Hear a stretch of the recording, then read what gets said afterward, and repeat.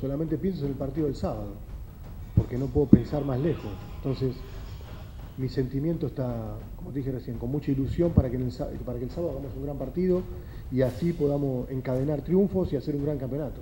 Esa es la, única ilusión y la única mentalidad que tengo. Eh, no pienso en otra cosa que no sea en ganar el sábado.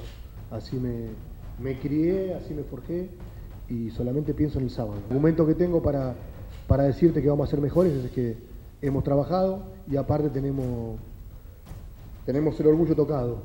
Entonces eso creo que nos va a dar un extra. Se va a dar un equipo con mucha, con mucha llegada ofensiva. Eh, lo que estamos trabajando es para encontrar ese equilibrio de, de poder recibir menos goles. Eh, entonces, eh, lo que tenga, lo que sí van a estar seguros que van a ver un equipo que va a llegar con, mucha gente, con mucha frecuencia de llegada. Eh, pero bueno, tenemos el otro, el otro, diríamos, inconveniente en solucionar del equilibrio, ¿no? De no hacer 30 y que te hagan 30.